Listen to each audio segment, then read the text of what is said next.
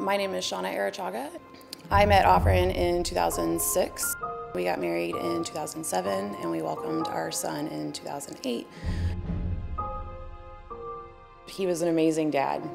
He was very, very proud to, to have a son. He came home for 18 months um, before deploying to Afghanistan. My husband was moving with his squad. It started raining and the ANA stopped to put on their, their ponchos and they ever, everybody was like, what are you doing? Like, we have to go, we have to go. And from what the guys that were there told me, it just, they were just lit up. They, they were ambushed. Ofren was in the back. It went between his plates. Um, and then it hit the front plate and went back in. I was unloading the car from coming home um, when the car pulled up. And I could see the guys putting on their berets. They walked up to me, I'm standing behind my vehicle. I told them, you have to go. And because I knew, I knew why they were there.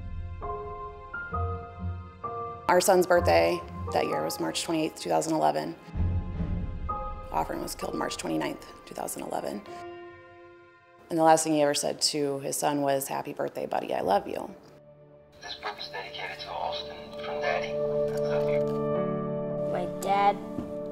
Recorded it before he went to Afghanistan.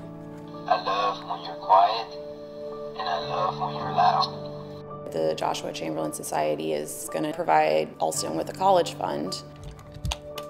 That's really special to me. I'm really excited that the Joshua Chamberlain Society is affording my son this, this opportunity that he didn't have before. And I don't think he realizes now how special it is, but in about 10 years, he's gonna know how lucky he is to have this kind of support. We're all missing out. You know, Ofren missed out on his kids, and I'm missing him, and I think Alston's the one that's missing out the most, um, just by not having the, you know, the father figure that he deserves.